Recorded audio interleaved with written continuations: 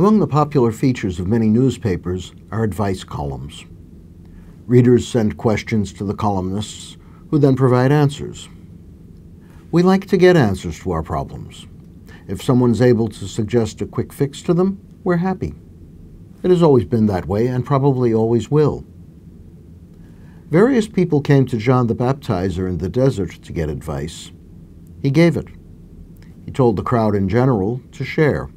He told tax collectors, a notoriously corrupt group in his time, to be honest. He told soldiers to not abuse their power by abusing people. We're not told how they reacted to John's advice, but since group after group asked for it, we can assume that folks liked what he had to say. We can be less sure that they actually followed it. My own experience of giving and receiving advice makes me suspect that they did not.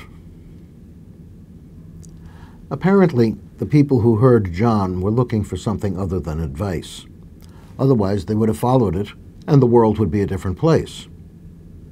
Equally apparent is the fact that I am not really looking for advice, though I may listen to talks, read books, and scan articles, which I then ignore. I have some other desire, a desire symbolized by my hopeful search for good advice. What are we really looking for? Answers or an answer.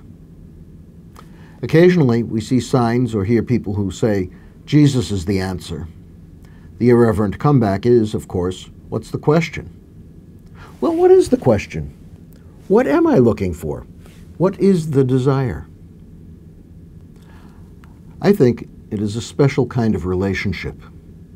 Perhaps that is the real meaning of those Jesus is the answer declarations. John offered advice.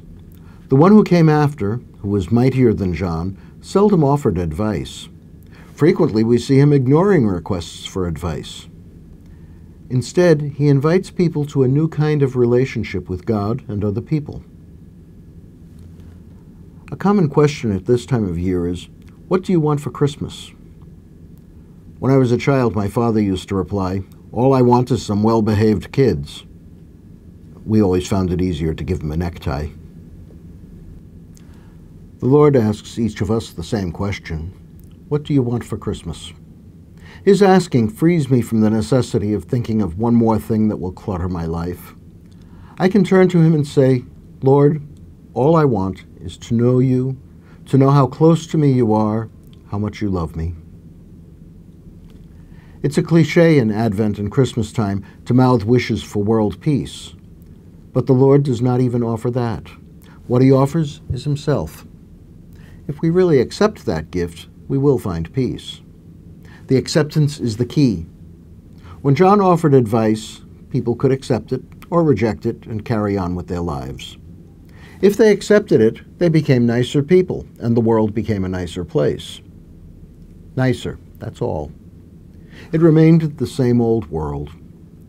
If we become nicer, the world would still be the same old world. The Lord comes to clear it all away. His winnowing fan is in his hand to clear his threshing floor. The Lord offers something totally new, totally different.